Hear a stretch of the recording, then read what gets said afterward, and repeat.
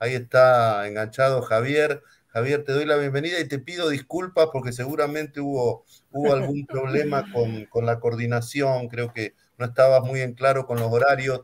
Eh, es responsabilidad mía, eh, vos me vas a entender, estoy en Guadalajara con el, con el, después de haber estado en Madrid, siete horas de diferencia, bueno, un poco trastornado con los horarios, pero en todo caso... Entiendo eh, perfectamente y me siento tan honrado de formar parte de esta fantástica jornada que habéis organizado hoy que, nada, nada. Vaya, eso sí, eh, si me notan que improviso, es que estoy improvisando. Ok. Eh, Javier, Javier, este, que es una persona súper ocupada y ahora vamos a hablar un poco de por qué está tan ocupado. Sin embargo, me dijo, eh, con, este, con ese programa no me lo pierdo de ninguna manera. Exactamente. Y, y, bueno, y la verdad que es un gran placer poder hacer este cierre con Javier porque él es una, persona que combina un poco esas dos facetas que tratamos de promover desde la Función Libertad, desde la FIL, que eh, Javier es una persona muy formada en las ideas liberales, muy formada, que ha tenido incluso una trayectoria muy destacada en entidades educativas y en Cintan. Javier fue, entre muchas otras cosas, ¿no?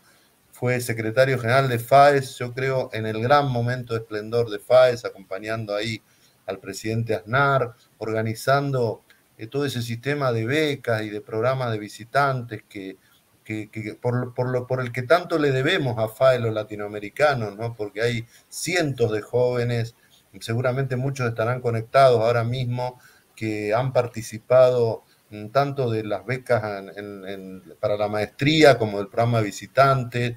Bueno, Javier fue clave en implementar todo esto en esa fundación tan querida y admirada por todos nosotros. Luego fue nada menos que vicerrector de la Universidad Francisco Marroquín en Guatemala, esa universidad también que es un, ejemplo para todos los, liberales, ¿no? De cómo han montado en ese país, un país eh, pobre, lleno de dificultades, y sin embargo han montado un proyecto educativo extraordinario que incluso ahora se está expandiendo a otras partes del mundo, en particular en España. Pero además de todo eso, Javier tiene una trayectoria eh, política eh, muy impresionante, ¿no? Yo lo conozco, creo que hace más de 20 años, él era un jovencito que estaba ahí en los equipos de Esperanza Aguirre, inmediatamente tomó posiciones gravitantes, eh, era, era, recuerdo, consejero de cooperación y es un cargo complicado, ¿no? Porque más bien uno, la cosa de la cooperación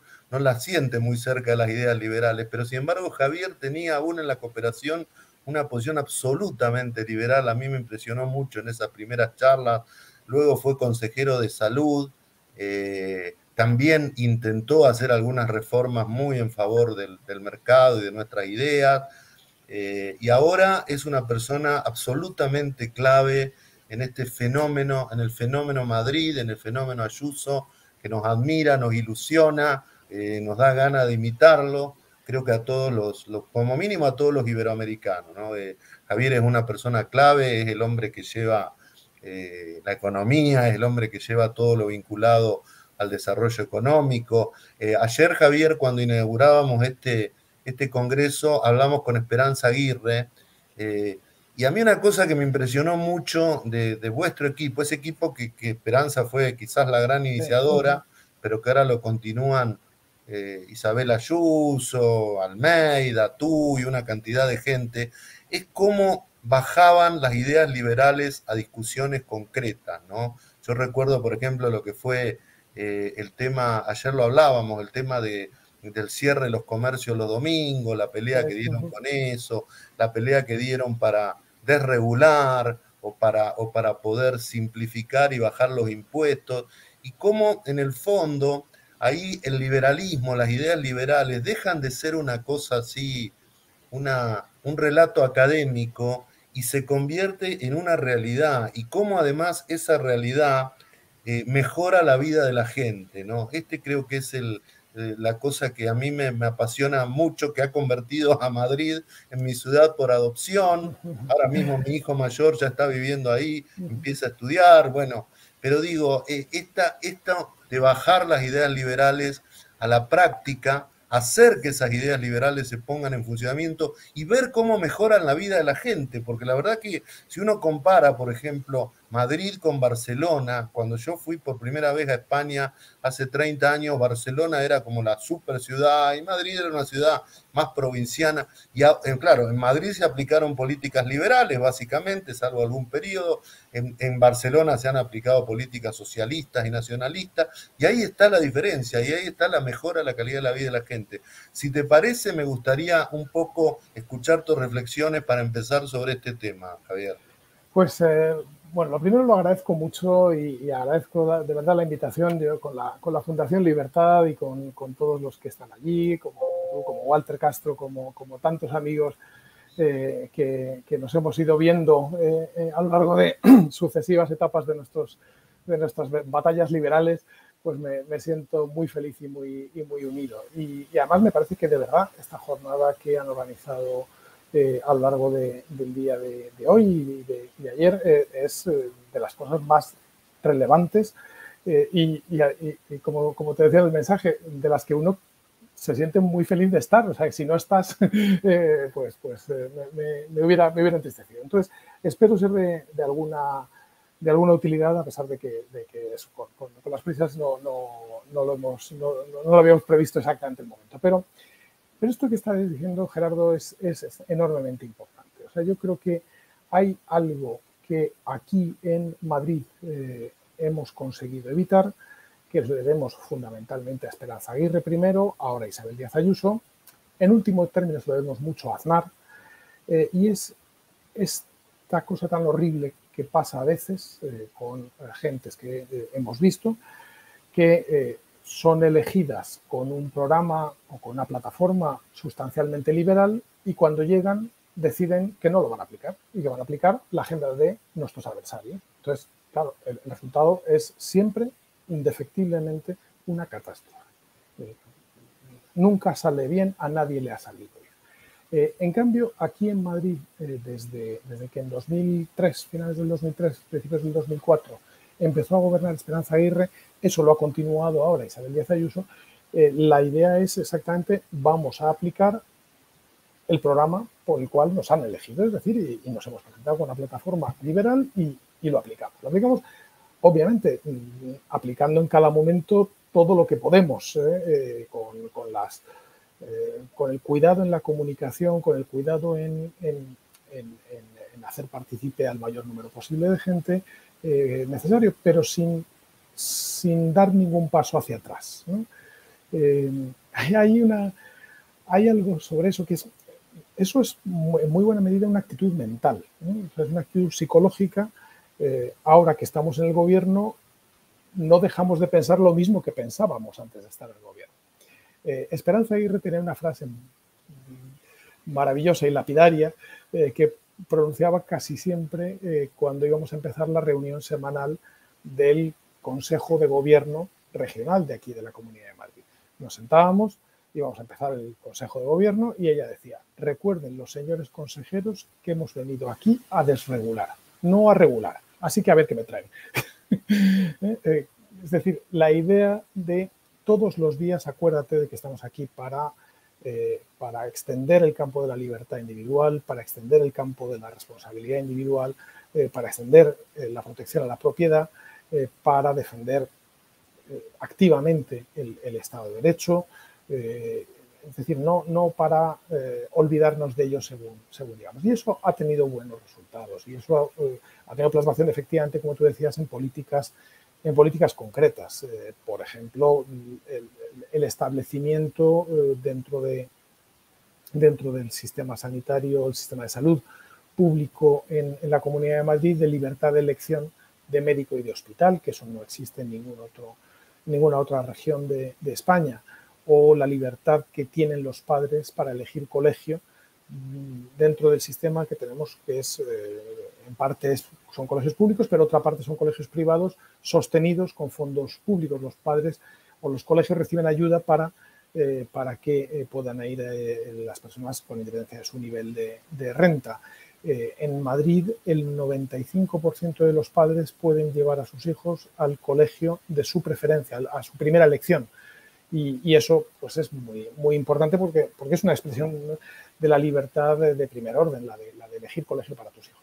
Y, también se traduce en, lo que se refiere a, algo que ha sido clave, que han sido los impuestos, eh, y, a una política económica dentro del margen que tienen las regiones en España, que no es, por supuesto, no es completo, la, política económica y una buena parte de la, de la política de, de, impuestos, de la política tributaria, se lleva desde el Gobierno Nacional, pero hay otra parte que sí podemos hacer las regiones. Y en Madrid llevamos 17 años seguidos bajando todos los impuestos y sin subir ninguno, eh, y eso ha tenido unas consecuencias absolutamente clarísimas de crecimiento económico, de generación de oportunidades, finalmente de generación de nuevos negocios, eh, finalmente de generación de empleos.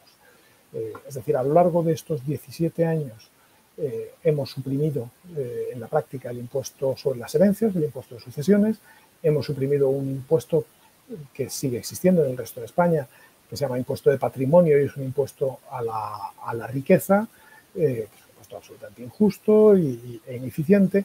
Eh, hemos bajado todos los tipos impositivos, la mitad del impuesto sobre la renta, que es lo que podemos administrar las comunidades autónomas. Eh, en Madrid tenemos unos tipos de impuestos sobre la renta, eh, dependiendo de las regiones, entre 3 y 5 puntos más bajos que, las demás, que otras comunidades. Por ejemplo, Cataluña tiene, tiene unos tipos impositivos 5 puntos más altos que, Madrid o Valencia también los tiene muy altos. Eh, ¿Y eso qué ha significado? Bueno, pues que en estos 17 eh, años, 53.000 millones de euros, o sea, para entendernos, digamos, unos 60.000 62.000 millones de dólares se han quedado en manos de sus propietarios.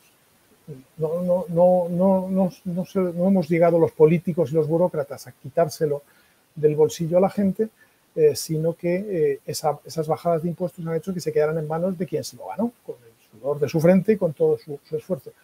¿Qué ha significado esos sesenta y tantos mil millones de dólares en manos de la gente? Primero, eh, que como Hayek nos enseñó, las decisiones se han tomado por parte de quien tiene el conocimiento. O sea, el conocimiento está disperso, eh, no, no, lo tenemos los políticos, no lo tienen los burócratas, lo tiene la gente, y cada uno de ellos sabía perfectamente a qué tenía que dedicar el dinero para obtener la mayor eh, satisfacción o la mayor adecuación a sus intereses con ello. Y segundo, sesenta y tantos mil millones de euros, de dólares metidos en la economía a lo largo de estos años, hacen que haya muchos más negocios, mucha más inversión, mucho más ahorro, mucho más consumo eh, y en definitiva, por tanto, eso es lo que explica que Madrid, eh, junto con otras medidas, pero principalmente esa, yo creo que es la que explica eh, que Madrid haya pasado a ser lo que no había sido nunca jamás en la historia, que es la primera economía de España. Tradicionalmente, eh, desde siempre, desde siempre me refiero a desde siglos, Cataluña era una, economía más importante dentro de, España que, la de Madrid. Eh, en, ocasiones otras regiones también estaban por delante de, Madrid, pero a partir del año 2004 se ve perfectamente la curva de crecimiento del PIB que incluso en, la crisis del 2008 en Madrid, por supuesto que impacta la crisis, pero un poco menos, el crecimiento es más rápido, todo porque hay más libertad, menos impuestos y finalmente Madrid desde el año 2018 pasa a ser la primera economía de España, que es el 19% del, PIB eh, español, eh, entre otras cosas porque desgraciadamente eh, ya nos gustaría que fuera de otra manera, pero Cataluña y Barcelona eh, está en manos de una coalición de socialistas, comunistas y nacionalistas, que son a, su vez socialistas, que, lo tienen completamente paralizado. O sea que yo creo que podemos ver en Madrid sí un ejemplo de que las, políticas liberales aplicadas de una manera sostenida en el tiempo, consistente, producen efectivamente un, resultado en términos de crecimiento económico y a la vez también de ampliación de campos de libertad de la gente. Mencionaba antes eso, eh, temas de salud o temas de, o temas de educación, o podríamos mencionar otros más, eh, que generan un, bueno, pues, pues una, una eh, al final, lo que más aborrecen nuestros adversarios, que es una demostración de que el liberalismo es obviamente muy superior al socialismo, lo ha sido siempre, y aquí lo está.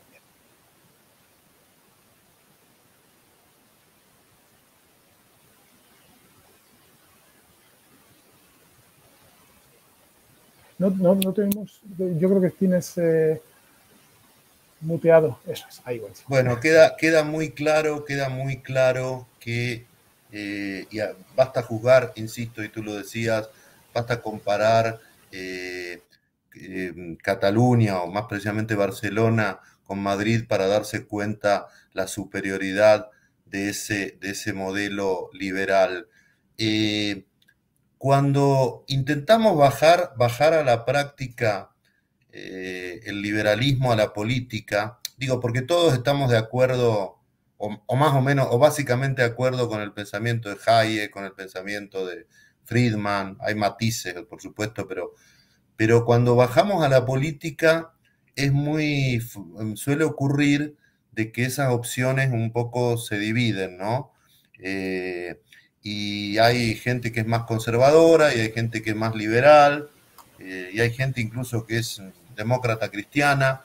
Ayer hablábamos eh, con Esperanza también y con otros amigos durante este congreso que eh, esos modelos que uno ve como exitosos o modelos que han hecho reformas liberales exitosas, en realidad políticamente son coaliciones amplias, ¿no? Donde en un momento el sector liberal prevalece, es lo que ocurrió, creo yo, en el Partido Popular con Aznar, o quizás en muchos aspectos con Ronald Reagan o con Margaret Thatcher, pero en esa coalición hay también gente que no necesariamente es liberal o, liberal, digamos así, ortodoxo, sino que son conservadores o socialcristianos.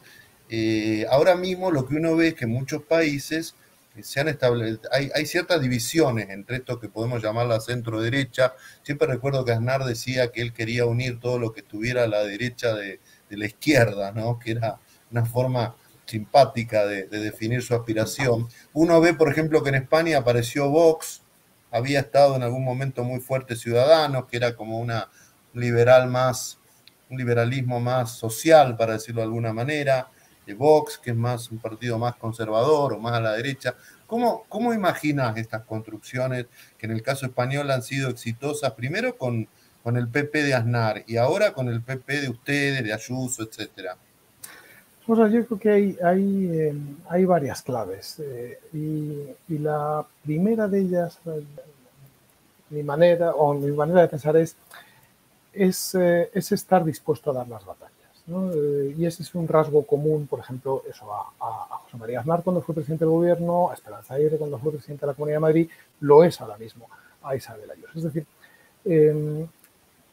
logramos aglutinar a más gente, eh, en, términos de una típica frase aznariana, que cuando mires para atrás veas que cada vez viene más gente contigo. Eh, eso se ha conseguido cuando no rehuyes dar la batalla con la izquierda. Eh, la izquierda plantea su, agenda, eh, la izquierda mm, da por supuesto que si, eh, si no la aceptas, lo mejor que puedes hacer es estar callado y que no se te note, que, no, y que no le des batalla en campo abierto. Cuando le das la batalla en campo abierto, entonces resulta que te encuentras con que hay probablemente una mayoría de gente que está contigo, que está con nosotros.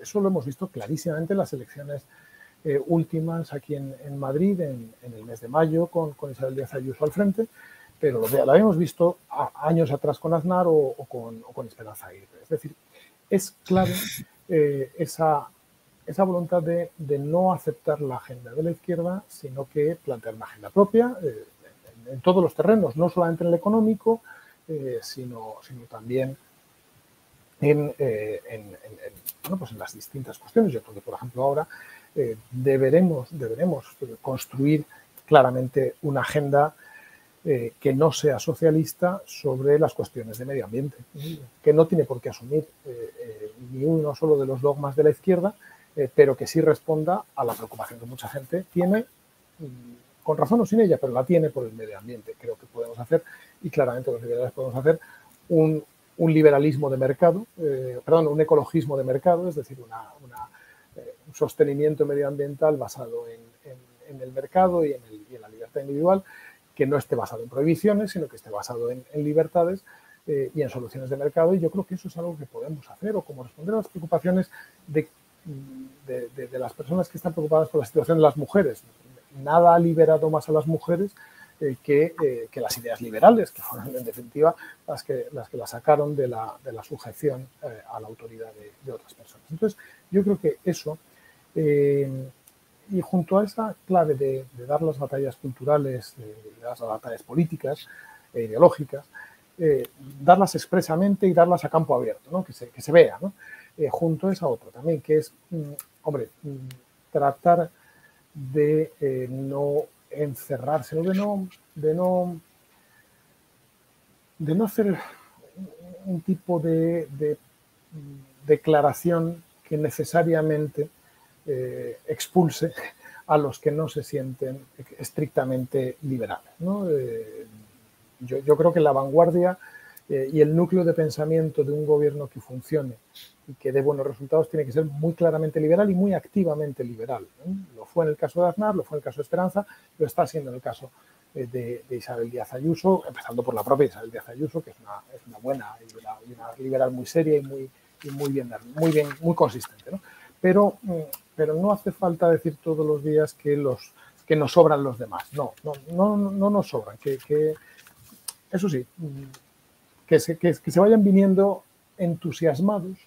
El entusiasmo es muy contagioso. Entonces, ahí los liberales tenemos que, tenemos que entusiasmarnos eh, y lograr que se entusiasme gente eh, y, hacer que, que, se vayan, que se vayan acercando. Al final, las ideas de la libertad, eh, gente como, como Ronald Reagan o, la propia Margaret Thatcher o, otros muchos gobernantes, también en países latinoamericanos, pienso en Paco Flores, por ejemplo, en, El, Salvador, eh, eh, pues, pues han, conseguido que una mayoría amplia de, personas que a lo mejor no se sentían, si les preguntas explícitamente si son liberales, pues, pues no lo son y no, no saben ni lo que es la escuela austríaca ni tienen por qué saberlo, pero terminan, terminan entusiasmados y beneficiados y saben que les está beneficiando una política basada pues, pues, en las ideas de bueno, pues, pues, estos que, tengo yo por aquí acompañándome, inspirándome desde, Hayek, Popper o, Friedman o, Mises, ¿no? Eh, y, por supuesto Adam Smith, que es el principal de todos.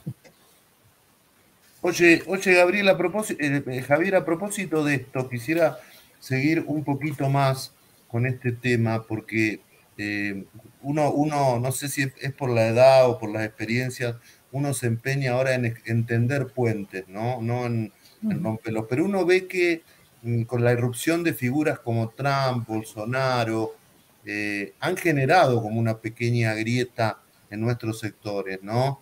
Esto que, por ejemplo, los de Vox llaman un poco eh, deliberadamente, provocativamente, hablan de la derechita cobarde del PP, de Rajoy sobre todo, ¿no? Pero bueno, también se ven divisiones en, en América Latina respecto a figuras como Bolsonaro, en Trump, desde luego, con Estados Unidos. ¿Cómo, cómo eh, profundizando un poco esto que acabas de decir, a mí por supuesto me parece que a veces uno ve que eh, gente de esta tendencia, libertarios o conservadores, dedican más tiempo a criticar a los primos hermanos que a pelearse con el socialismo, ¿no?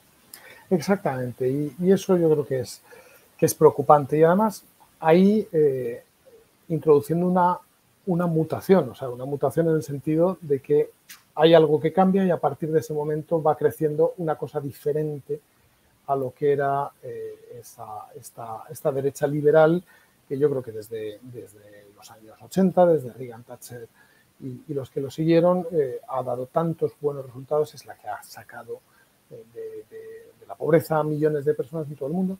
Y y yo creo, y a mí no me, por eso no me gusta eh, el, estilo trampiano, eh, porque, porque introduce una, una, mutación, por ejemplo, hay una mutación muy importante. Es decir, eh, durante las últimas décadas, nadie, y mucho menos en el campo de la derecha, ha hablado o ha actuado contra la libertad de comercio, contra la libertad de circulación de personas, de bienes, de nadie ha hablado en términos defensivos hasta que llegó Trump. Eh, y, me parece que, es, que eso es muy grave, porque como volvamos a un mundo o a una, o a una derecha eh, partidaria del proteccionismo, en, Latinoamérica de la sustitución de importaciones. El otro día había una manifestación aquí en Madrid. Eh, está subiendo mucho el precio de la luz estos días en, España y un desastre como consecuencia de, los costes políticos introducidos en, la electricidad. Pero había una manifestación convocada por Vox y llevaba unas pancartas muy grandes que decían soberanía energética. ¿Qué es eso de soberanía energética? Vamos a ver. Lo que tiene que haber es libertad para generar fuentes de energía eh, y que cada uno eh, o las compañías la puedan comprar eh, o producir al menor precio posible para ofrecerla al menor precio posible. A mí me da completamente igual si los electrones vienen desde Francia como si vienen desde Murcia. O sea, es que no me puede importar menos. Pero esa idea de em, no es son cómplices de los socialistas todos aquellos que no defiendan una visión entre el nacionalismo, el proteccionismo, lo que llaman ellos antiglobalismo. Oiga, yo, es que, es que me siento muy feliz eh, siendo, siendo partidario de la globalización, sin globalización. Eh, Johan Norberg, eh, que por cierto vi que participaba en la, en la jornada, dijo una frase maravillosa en, el comienzo de la, de la, pandemia, cuando estábamos todos encerrados en casa en todo el mundo, ¿no? que era, llevan años diciéndonos eh, que eh, la culpa de todo es de la globalización, del comercio internacional y del turismo, eh, y que hay que acabar con todos ellos. Bueno, pues en estas semanas estamos viendo, hablaba de, del año pasado, de, marzo, abril del 2020, estamos viendo una preview de la película de cómo es el mundo cuando no hay globalización, cuando no hay comercio internacional, cuando no hay turismo. y lo que estamos viendo lo que vimos hace un año fue la preview de una película de terror, de auténtico terror. Entonces yo por eso me, reafirmo y defiendo más que nunca eh, una, política de, sociedades abiertas, como, Popper nos defendía, como Mario Vargas Llosa explica eh, maravillosamente bien en, el, libro sobre la llamada de la tribu, que es un libro que nunca dejaré de recomendar porque es maravilloso, eh, y, que, además, como te imaginarás, Javier, ese libro es mi preferido, ¿no? Claro, efectivamente. por razones obvias es un libro que, los liberales le, tenemos que agradecer de manera muy especial a Mario, porque yo siempre he tenido la sensación, y leyéndolo y, comentándolo, que es un libro que Mario se había propuesto. Mm, yo, yo, yo no me puedo marchar de aquí sin dejar este libro escrito y, contándole a la gente por qué, eh, por qué he ido llegando y, qué es lo que me parece importante e interesante de las ideas de la libertad. Y lo hace de una manera tan absolutamente personal que, es maravilloso. Pero termino ya sobre tu, pregunta. yo creo que, eh, que esa mutación de una derecha que ya no, que ya no es que no sea liberal, es que es antiliberal, eh, creo que no es buena y creo que se produce, y con esto termino, se ha producido en todos los países eh, cuando ha habido personas que no son socialistas, que, están a la derecha de la izquierda, que han creído ver que el partido o la opción que les representaba estaba dejando de defender las ideas en las que ellos creen.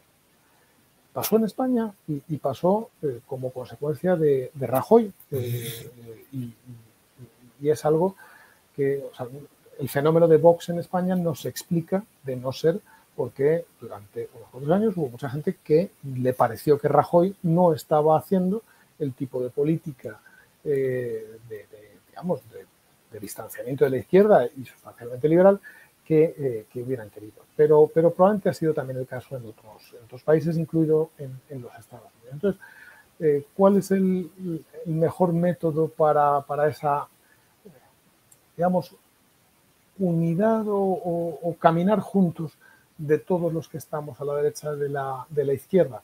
Bueno, pues, pues tener las ideas muy claras, defenderlas con, con vigor eh, y dar la batalla, dar la batalla porque si no, eh, cuando la gente nota que no estás dando la batalla, entonces se va detrás de a lo mejor de alguien que da muchas voces o, de alguien que, eh, que puede ser más, más demagogo que realmente un, político. te quiero hacer una última pregunta siguiendo con esta idea de tender puentes, ¿no?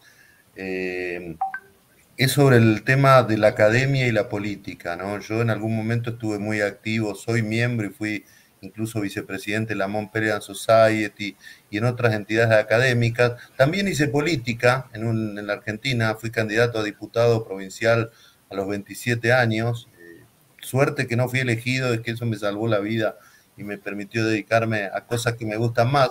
Pero digo, como que estuve un poquito de los dos lados y siempre se ve ahí como una desconfianza recíproca. Eh, los, los, políticos piensan que los académicos son tipos que están ahí en su Olimpo, que no se quieren moscar, que a veces eh, dicen cosas un poco delirantes y siempre cosas inaplicables. Y, a su vez los académicos tienen cierto desdén por los políticos porque creen que son tipos dispuestos a, negociar cualquier cosa, a transar cualquier cosa, a dejar sus principios en la puerta.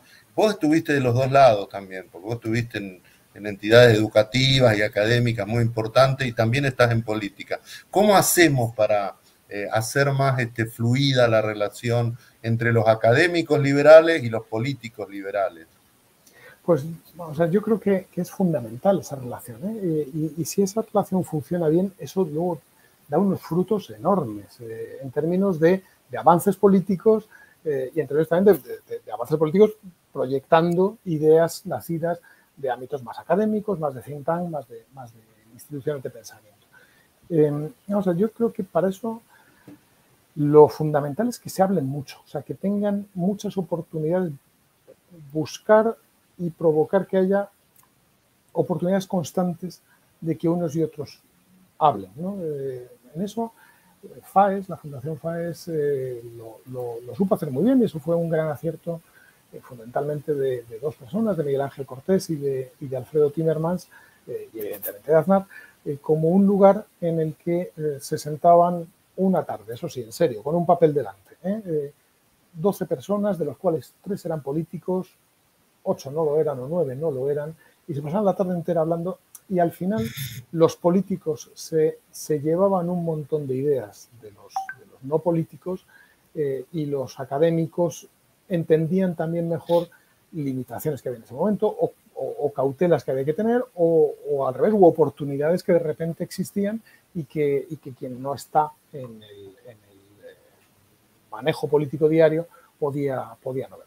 Yo desde luego todos los, grandes políticos que, he visto, vuelvo a repetir los, los ejemplos eh, inolvidables de, Ronald Reagan o de Margaret Thatcher, o los más cercanos para mí, como, como ahora mismo Isabel Díaz Ayuso o, o, Aznar o Esperanza Aguirre, todos ellos eh, hablaban mucho con, eh, se relacionaban mucho con personas que venían o que estaban activamente en, eh, instituciones de, pensamiento, de think tanks.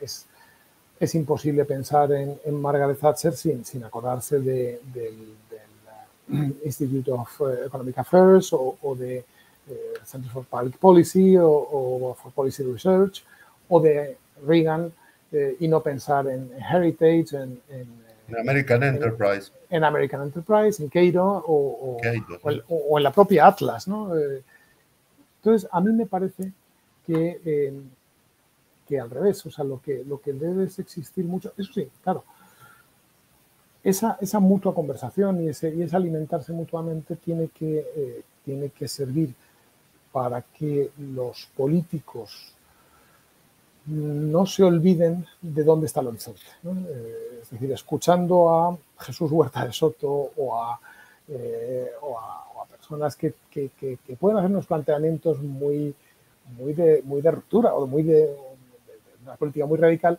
eh, a mí me es muy útil, a mí me encanta que eso existe. Cada vez que les oigo algo de esos, me, da un salto de alegría al corazón, pensando, mira qué bien que, que exista alguien como Miguel Ancho Bastos, para que no me olvide de hacia dónde debemos tender, sabiendo que eso es un horizonte que muy lejano, que podemos ir dando pasos, poquitos pasos, a veces ningún paso en esa dirección, pero que lo que no debemos nunca es dar pasos en la dirección contraria. Eh, y también esas, esas interfaces, esas, ocasiones en las cuales eh, personas que están en, think tanks tan importantes como, como Fundación Libertad eh, y políticos en activo, eh, sirven también para que los que están en el campo académico eso comprendan las limitaciones que se tienen en cada momento o ayuden a generar ideas que, que, pueden, que pueden luego ser mm,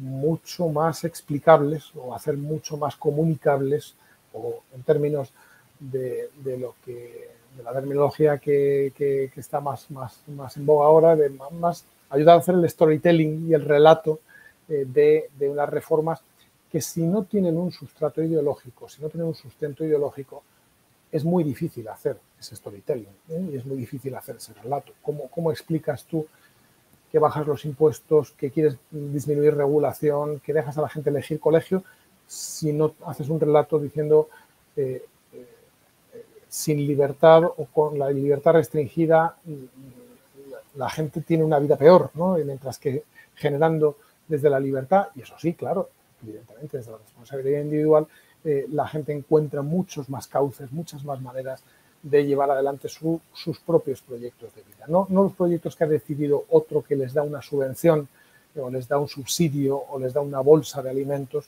para que piensen lo que él les dice que piensen. Entonces me parece que ese relato se alimenta mucho mejor cuando, cuando estás sentado, cuando escuchas mucho a, a, gente y a personas pues, que están como, ustedes en, Fundación Libertad o en tantos otros eh, fantásticos científicos latinoamericanos que he tenido la oportunidad de conocer. Javier, quiero agradecerte mucho por acompañarnos. Estamos literalmente dando por cerrado este primer Congreso Iberoamericano de Liberalismo Cultural que sea el primero, quiere que, el título sea primer congreso, quiere decir que habrá segundo, tercero, cuarto, quinto y muchos más. Creo que es una gran iniciativa discutir estos temas y, y, te quiero decir algo que vos vas a entender bien y les quiero decir a todos, a la vez que les agradezco la participación. Me siento especialmente contento con este evento. Mm, ¿Saben por qué? Porque no participé prácticamente en la organización. Esto fue una idea de Alejandro Bongiovanni, y al que acompañaron Garrett Edwards, eh, Marco Falcone y otros jóvenes. Y claro, eh, uno ya se siente como la generación del medio, ¿no? Porque tuvieron los Margariti, los Pontón que nos formaron, y en el medio estamos nosotros, y ya hay jóvenes que toman la posta y que lo hacen muy bien. Así que creo que para una persona, supongo Javier que a vos te pasará lo mismo, que estás rodeado de jóvenes da, alegría, da alegría cuando, cuando se ve gente como, como Garrett o como Marcos o, Alejandro que, son capaces de armar, ojo, un programa el que han armado eh, que, yo me quedé muy impresionado cuando lo recibí y que seguro que a mucha gente le va a impactar y le va a hacer acercarse y, ser más activo en la defensa de estas, estas, ideas. O sea, que ojalá eso, al primer congreso siga un segundo y ya no, ya no mucho tardar. Sí, y como sabemos, quienes creemos en la fuerza de las ideas, eh, sabemos con que basta con que basta tocar algunas cabezas en estos tipos de eventos y seguramente habremos tocado algunas cabezas, ustedes los disertantes, eh, para que esto tenga sentido. ¿eh? Las ideas tienen consecuencias, ya lo sabemos. y un día esas ideas, esa idea le llega a su momento y ahí se producen las, las transformaciones liberadoras. Muchas gracias Javier, muchas gracias a todos. Les dejo para que hagan el cierre formal a Garrett y a Marcos. Muchas gracias eh, Gerardo, muchas gracias eh, Javier. Eh, vamos haciendo lo que tiene que ver con el cierre formal aquí ya del evento. Eh, vamos eh, despidiéndonos, Marcos. Eh, aprovechamos para disculparnos en nombre del Premio Nobel de Literatura Mario Vargas Llosa, quien ha estado con una imposibilidad técnica para poder sumarse aquí al cierre, pero hacía llegar sus saludos para toda la audiencia del otro lado. como les decíamos, Marcos, esto queda subido en redes sociales, queda ahí para poder disfrutar nuevamente. Eh, nosotros los invitamos a seguir compartiendo las actividades eh, de Fundación Libertad y a reencontrarnos en el próximo evento, del que seguro no faltará mucho para que así suceda. Exactamente, Garrett. Eh, como decía Gerardo, el nombre del Congreso implica que va a haber un segundo, tercero, cuarto y esperemos que sea una hermosa tradición en años sucesivos y sobre todo esperamos vernos todas las caras, ¿no? Una vez que volvamos, que continuemos volviendo a la normalidad. Así que les agradecemos a todos y como dijo Garrett, muy importante, estas charlas van a estar disponibles en YouTube en los próximos días, así que no olviden suscribirse a nuestro canal, no olviden suscribirse también a eh, las redes sociales de la Fundación Libertad, en Twitter, en Facebook, en Instagram. Si quieren comentar cualquier cosa sobre el Congreso, etiquétennos y nosotros lo vamos a compartir. Muchísimas gracias a todos de nuevo, una vez más, por haber estado acá, tanto ayer como hoy, todas estas horas con tantos panelistas de primer nivel. Y nos vemos entonces el año que viene. Así es. Hasta la próxima. Hasta la próxima. Chao, chao.